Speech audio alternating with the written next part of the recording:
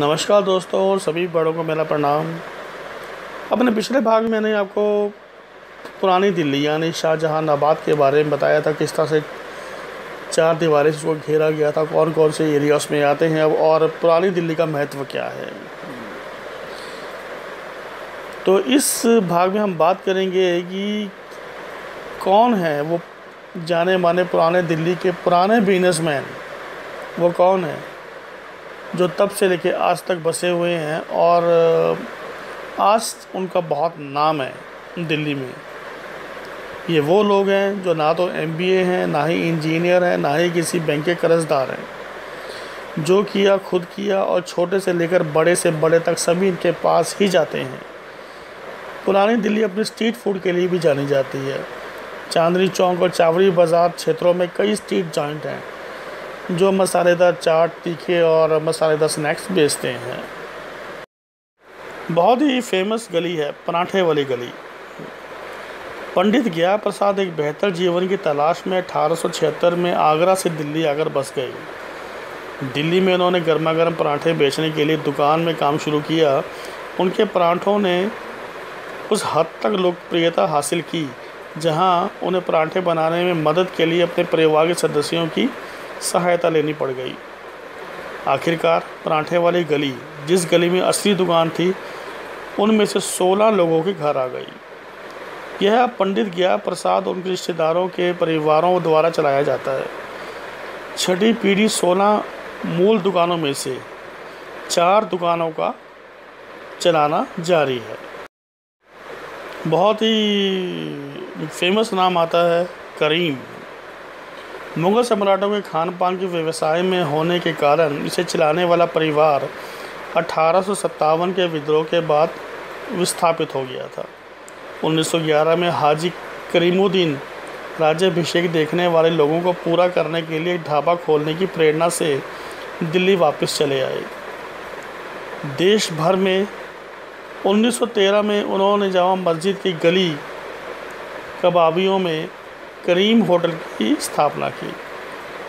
एक प्रमुख पर्यटक आकर्षण होने के कारण देश और दुनिया भर के लोगों की ज़रूरतों को पूरा करने के लिए करीम आज भी वहाँ मौजूद है। फिर नाम आता है कल्लू निहारी। निहारी एक पारंपरिक मीट स्टू है, जिसके, इसके स्वाद और अवयवों की कोमलता को बनाए रखने के लिए धीरे धीरे पकाया जाता है। कल्लू निहारी पुरानी दिल्ली की एक दुकान है, जिसे 1990 में स्वर्गीय मोहम्मद रफ़ीकुद्दीन, जिसे कल्लू मियाँ के नाम से भी जाना जाता है, उनके द्वारा खोला गया था। और तब से ये विशेष रूप का जो पकवान है, परोसा जा रहा है। हर नारायण हर नारायण गोकुल चंद और अचार और मुरब्बा की दुकान थी, जिसे मूल रूप से खारी बावली में अठारह सौ सत्तावन में हर नारायण गोपीनाथ के नाम से स्थापित किया गया था। इसे अक्सर भारत के पहले व्यावसायिक रूप से उपलब्ध अचार ब्रांडों में से एक माना जाता है। उस समय भारत का सबसे बड़ा खाद्य संरक्षक था। उनका अचार और शरबत डेढ़ सदी से भी अधिक समय से घरेलू व्यंजन बना रहा। और यहाँ तक कि जवाहरलाल नेहरू और इंदिरा गांधी को भी परोसा गया है। पुराने दिल्ली की खारी बावली में छोटी सी दुकान से शुरू होने के बाद यह अब एक वैश्विक ब्रांड बन गया है, जिसे हर नारायण इंटरनेशनल के नाम से जाना जाता है। बंटा। हर कोई जानता है इस नाम को। आपको मालूम होगा एक कोल्ड ड्रिंक आती थी जिसे हम बंटे वाली बोतल या कंचे वाली बोतल बोला करते थे। और आज भी गर्मियों में वो कई जगह नज़र आती है, जब भी आप बस से सफ़र करते हैं, कार से सफ़र करते हैं, रास्तों में कोई खोमचे वाला, रेडी वाला या छोटा दुकानदार बैठा, इसे बेच रहा होता है। इसे बोला जाता था कॉड नेक बॉटल। इसकी विशेषता, बंटा एक ऐसी ड्रिंक थी जो पुराने दिल्ली में अठारह सौ बहत्तर से प्रचलित है। जिस कांच की बोतल में यह आता था, उसमें संगमरमर का डाट लगा होता था, जिसे खोलने के लिए उस डाट को बोतल के बल्बनुमा गले में धकेला जाता था।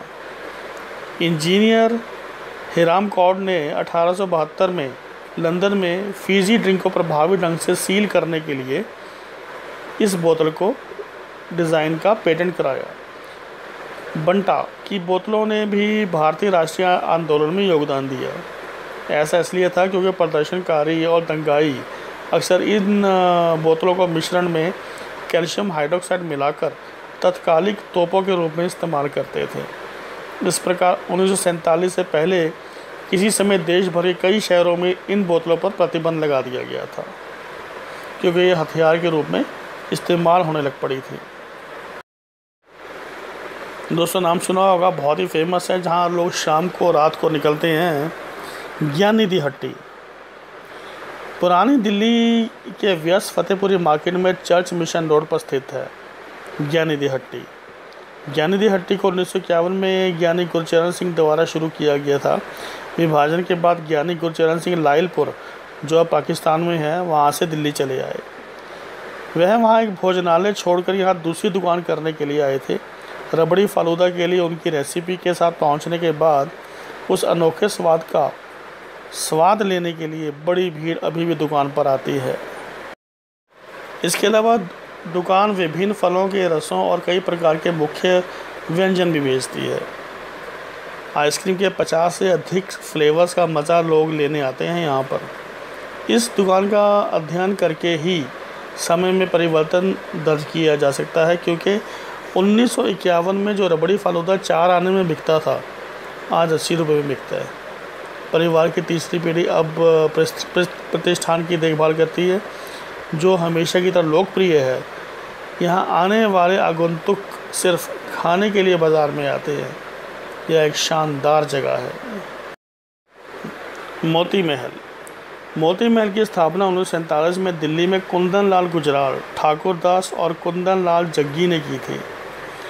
शुरुआत में उन्होंने 1920 के दशक से पेशावर ब्रिटिश भारत में मोखा सिंह नाम के एक व्यक्ति के स्वामित्व वाली मोती महल नामक एक छोटे से भोजनालय में काम किया।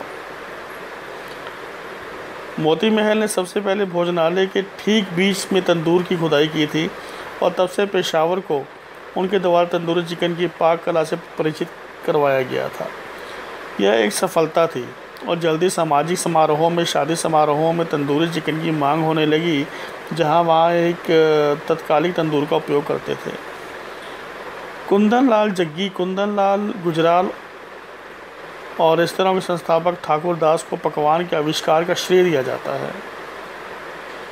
उन्नीस में भारत के विभाजन के बाद वे अपने परिवार के साथ दिल्ली आ गए। दिल्ली में तीनों भागीदारों ने दरियागंज के इलाके में एक थारा बूथ खरीदा। थारा यानी कि बूथ को बोलते हैं, छोटी दुकान को। उसे ख़रीदा। फिर पुरानी दिल्ली का एक नया हिस्सा माना और फिर उन्होंने मोती महल शुरू किया। दरियागंज मोती महल ने आगे बटर चिकन और दाल मखनी का भी आविष्कार किया था। इसने स्वाद में क्रांति ला दी और अंतर्राष्ट्रीय पेटो मानचित्र पर एक स्थान प्राप्त किया। इस प्रकार मोती महल रेस्तरां का जन्म हुआ, जिसने भारत को विश्व के खाद्य मानचित्र पर लाने से महत्वपूर्ण योगदान दिया। भारतीय नेताओं जैसे जवाहरलाल नेहरू, इंदिरा गांधी, जाकिर हुसैन जैसे विभिन्न विदेशी गणमान्य व्यक्तियों जैसे रिचर्ड निक्सन, जॉन एवं John F Kennedy Mohammad Reza Pahlavi और डेलहॉस परिवार, सभी को यहाँ पर खाना परोसा गया है। अब बात करते हैं सबसे पुरानी दुकान वहाँ पर, जिसे बोला जाता है ओल्ड फ़ेमस जलेबी वाला। पुरानी दिल्ली में यह जलेबी की दुकान, जिसे ओल्ड फ़ेमस जलेबी वाला का नाम दिया गया है, अठारह सौ चौरासी से है ये दुकान। अब परिवार की पिछली चार पीढ़ियाँ इसको चला रही हैं।